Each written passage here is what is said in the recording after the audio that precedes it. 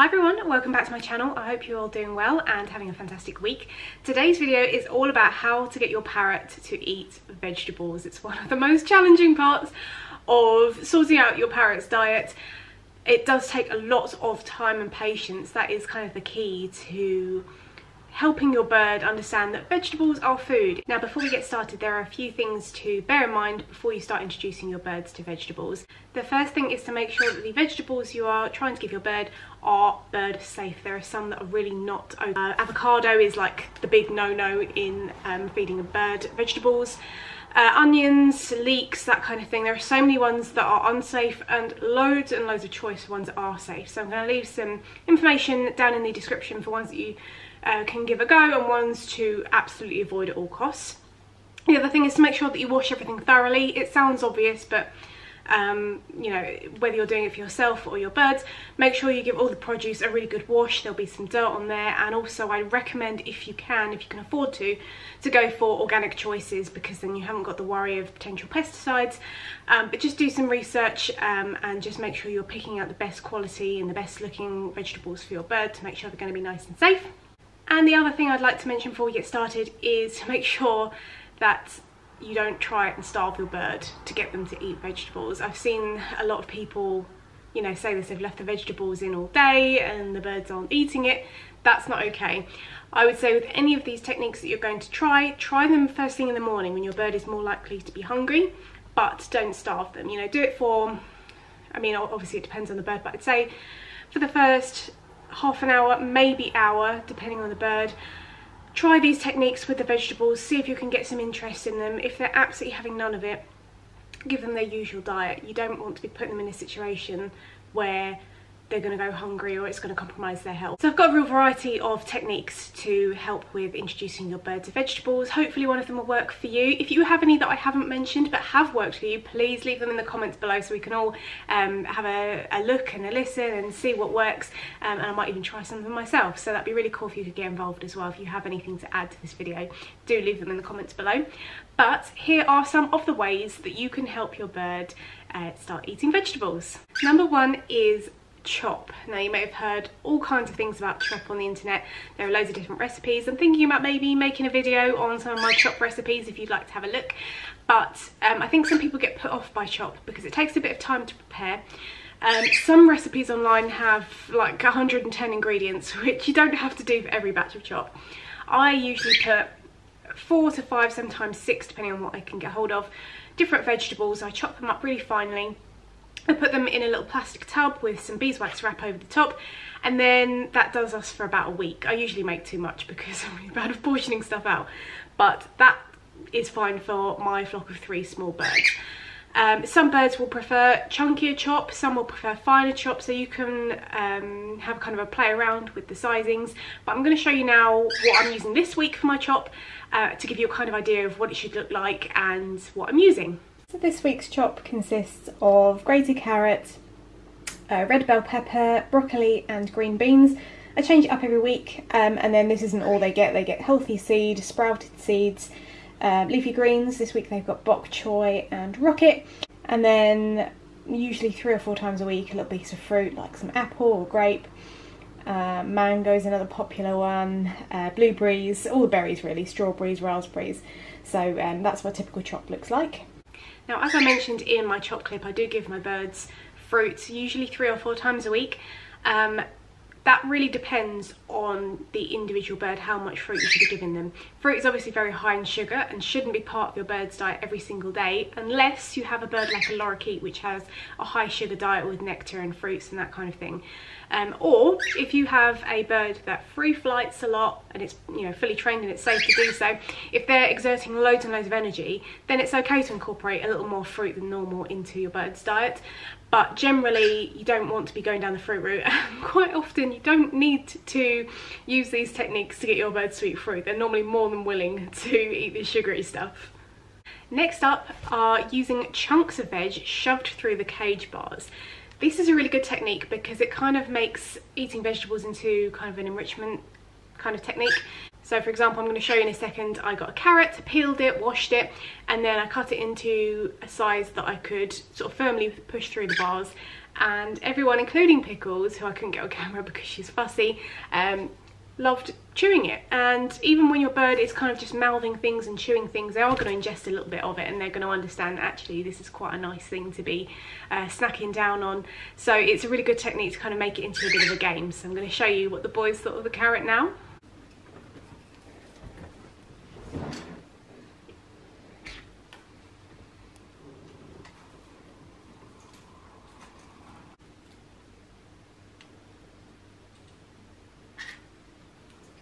You can also make different kinds of vegetables into a kind of enrichment device in themselves. For example, you can use the stalk of broccoli, the big chunky bit that probably a lot of us bin, um, but you can chop off the dry end and obviously chop off the, um, the green bits and then you've got the broccoli stalk and you can cut holes into it and stuff some seeds in there or their favourite treats or some nuts or other vegetables, maybe even some fruit as well, to make the actual vegetable into an enrichment device. And that will allow the bird to start chewing on it and start recognise it as something that it can consume. Uh, you can also do this with bell peppers, just another idea, or courgettes. So courgettes, you can do the same kind of thing because it's a similar shape. But with bell peppers, you can just top, chop the top off, um, use the seeds. The seeds from peppers are fantastic, so don't throw those away. Throw the little green um, top bit away, but the actual seeds are great. Um, and then you can use the bell pepper and fill it with different kinds of foods or grains uh, sprouted seeds, anything that your bird really enjoys and then it can sort of nibble on the outside of the bell pepper as well as trying to get into the actual goodies inside. So just as an example I've got the broccoli stalk here and I've just carved some little holes in and I've put some millet buds in there which are the boys' favourites and then in uh, this one which is um, a bit of green bell pepper, it's kind of the base of it. I've taken all of the pepper seeds out, put them in the bottom because they're great for the birds and then I've also got some hemp seeds and some caraway seeds in there as well so hopefully they'll enjoy um, picking around in those and having a bit of fun. So let's see what they think.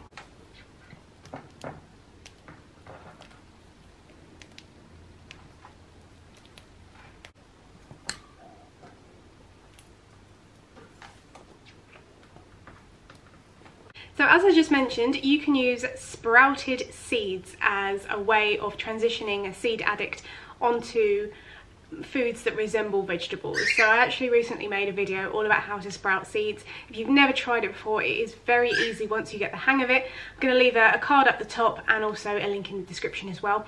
The way that you sprout seeds is by taking the seeds that your birds likes or by purchasing some other ones from different websites. Again, I've got all the links on that video. So as you soak and rinse your seeds, they actually start to sprout and the sprouting process uses up the fat reserves that are actually within the seed. So unhealthy seeds or seeds high in fat actually become healthier and more appealing once they start um, germinating. So that could be a really good way of getting your seed addict to incorporate things in their diet. They're a little bit more like vegetables, a little bit more fresh, um, and that is a great step in the right direction. So as I said, I'll leave all the links around. Um, do go and give it a watch and give it a try as well. Let me know how you get on too. So next up are herbs. There are loads of different safe herbs that you can use for your birds. My birds absolutely love rosemary. Um, it's one of those kind of fun herbs that doesn't quite look like a vegetable. It looks more fun, I'd say, and it's very aromatic, so makes your house smell amazing. Um, so I'm going to show you a couple of clips in a second of the birds enjoying their rosemary.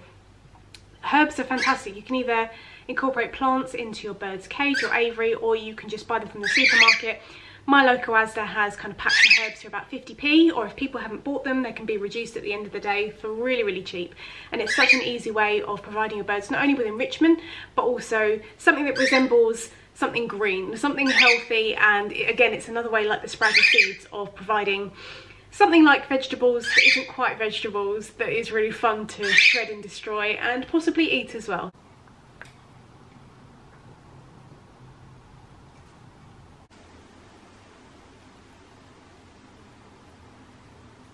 Now even Pickles loves herbs and she is not a fan of anything green. She's a real sweet beak. When we uh, first rescued her, she was on a diet pretty much of sunflower seeds and peanuts.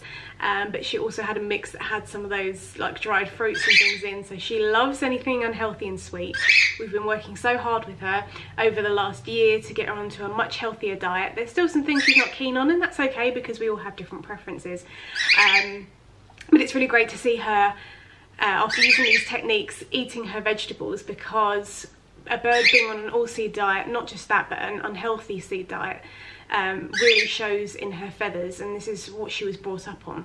So her feathers are very dull, not very good condition um, when we first got her and her beak wasn't in great condition either.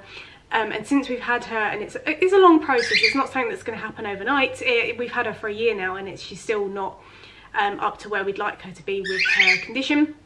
But the difference that we've seen already um, in her recent molt is just out of this world. So her feathers are so much more vibrant, um, great condition, lovely and shiny. Her beak is getting better. So having birds on a vegetable diet is fantastic. There are so many vitamins and minerals that your birds will be missing out on if they are not consuming vegetables regularly. In fact, one of the most common deficiencies for pet birds is vitamin A deficiency. Um, it's very hard to get those from seeds. I would say the best vegetables for vitamin A are bell peppers, um, carrot I believe, and leafy greens as well. If you can get leafy greens into your bird's diet, then you are on to a winner.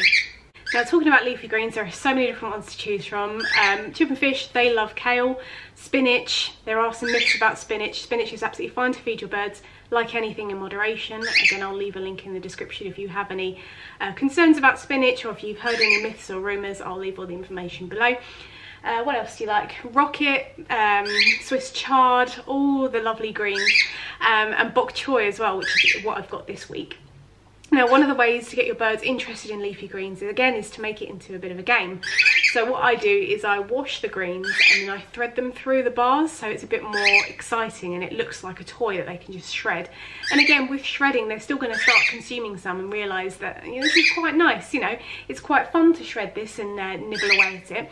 Also, when you wash them, for some smaller birds like budgies, it'll actually encourage them to start bathing because they'll rub themselves all over the leaves and it'll feel quite nice. So actually feeding wet leafy greens is fantastic for your bird, not just for the nutritional aspects, but for the enrichment as well. So I'm going to show you what the birds thought about the leafy greens this week.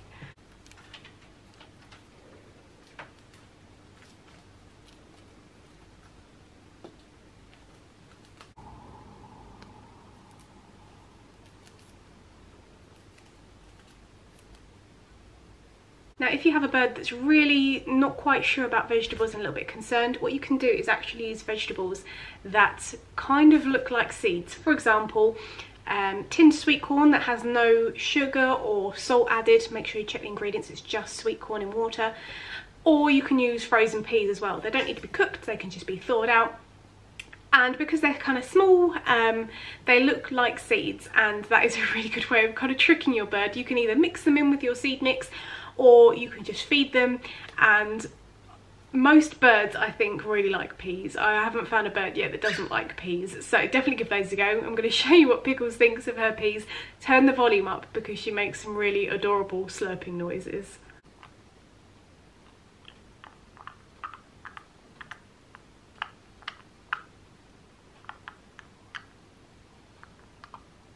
And finally, one of the most important ways to try and get your birds to eat vegetables is to eat them yourself. I'm not saying you have to have a high vegetable diet. I have a quite unhealthy diet, I have to say. I do like my vegetables, but um, they're not my first choice.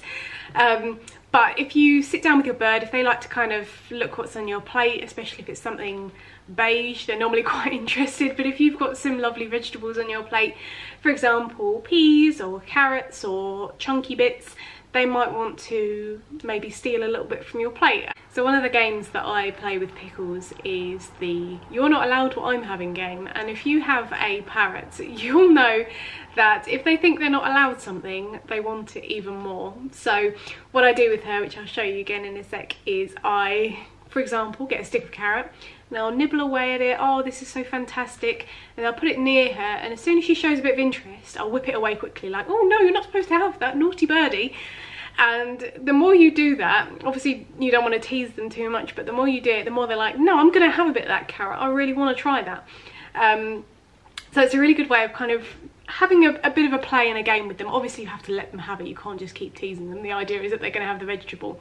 But it's a great way of using that silly bird psychology to get them to think that they're winning over you when actually you'll get them to eat the vegetables. So it's, it's a good one to try and um, just be careful of course if you haven't got that bond with your bird, if they're going to exhibit frustration with this, might not be the best game for you but you can use the other technique of having a plate of food and you can eat some and just allow your bird to eat off the plate with you. So either one I'm going to show you what I did with pickles. Mmm mmm nice. Oh it's so yummy isn't it? Mmm mmm mmm yummy yummy. Clever girl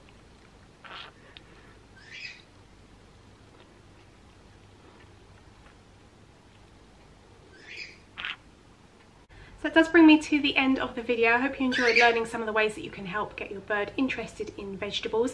As I said, if you've got any other techniques that I didn't mention, please leave them in the comments. Um, I'd love to give them a go and also it might help somebody else too. Um, but I hope you're all having a fantastic week. I hope your birds are well and take care and see you later.